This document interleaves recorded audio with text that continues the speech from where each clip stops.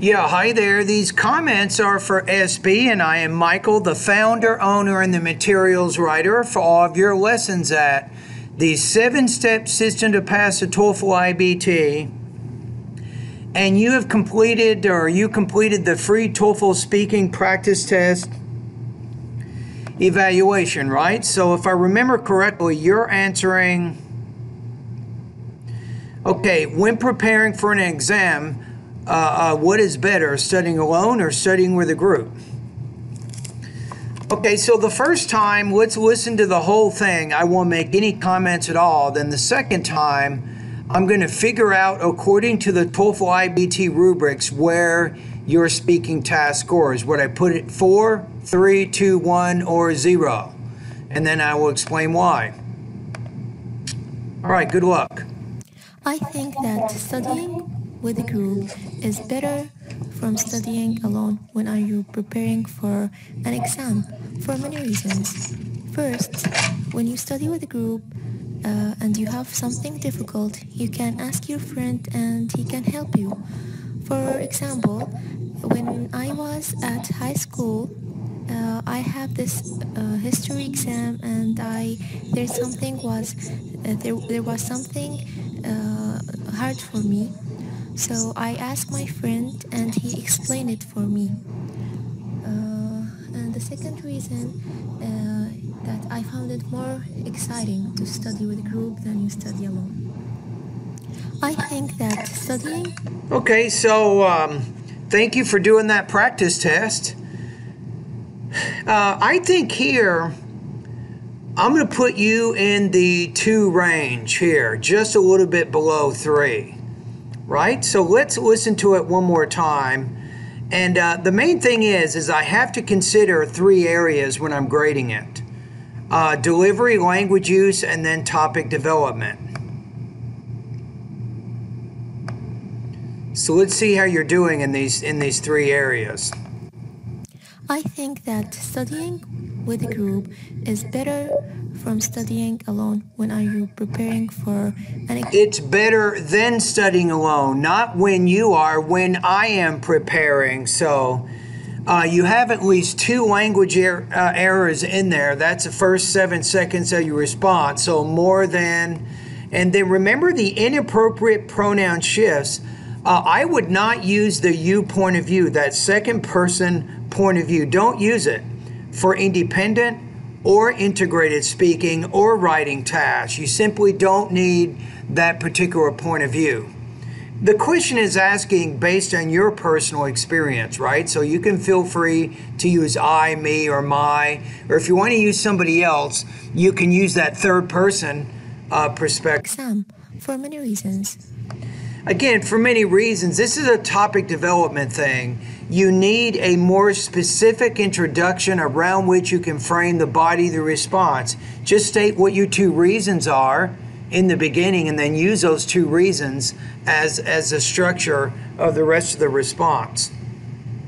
First, when you study with a group uh, and you have some I wouldn't say when you're studying. I would say when a student or when someone studies or when I study in a group. Something difficult, you can ask your friend and he can help you.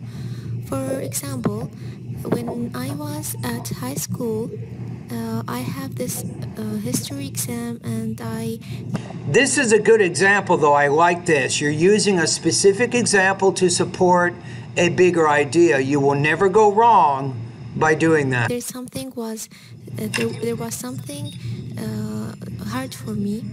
The problem here, this is a delivery problem. You sometimes have some pauses and some hesitations in there.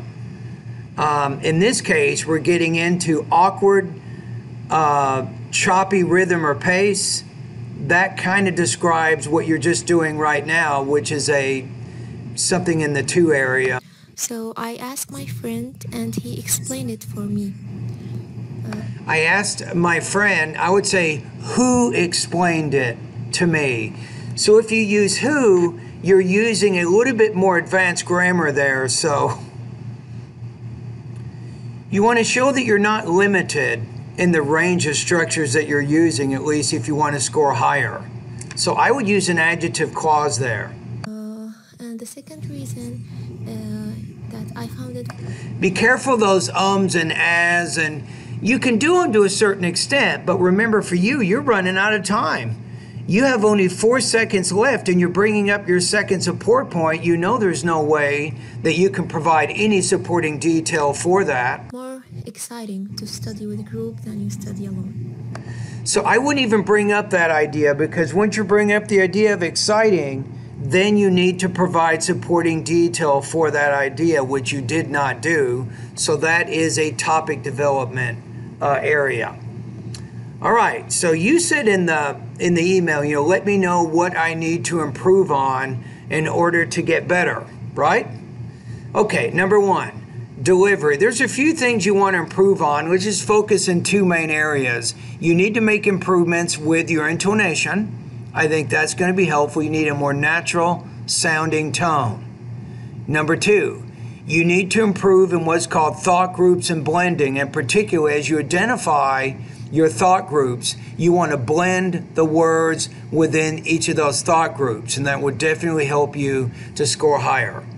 Language use. There's at least two areas I think you can improve on in, in here in your language use. Uh, number one, choose the appropriate point of view. Remember, in this case, don't use the you point of view. Use the first or the third person point of view. That's going to work better. The second area that you want to work on in the language use is you're limited a little bit in the grammar structure you're using. So you need to get more comfortable with combining sentences together. That means that you need to have better control over adjective clauses, adverb clauses, and noun clauses. In addition, you want to get a little more comfortable with the compound sentence and also the compound complex sentence. Okay, topic development. You need a little bit better organization so you have problems managing the time. You, you brought up two support points, but you didn't develop the second one. You didn't have a really sharp, with sharply focused uh, introduction, so you definitely need to make some improvements in there. Uh, all right? So, like I said in the beginning, I feel that you'll probably score in the in the two, maybe mid range. I'm gonna put you maybe 2.5 out of four. I'll put you maybe uh, 19 points out of 30 approximately on this practice test. And thank you for doing the practice test. So I offer this service for two reasons.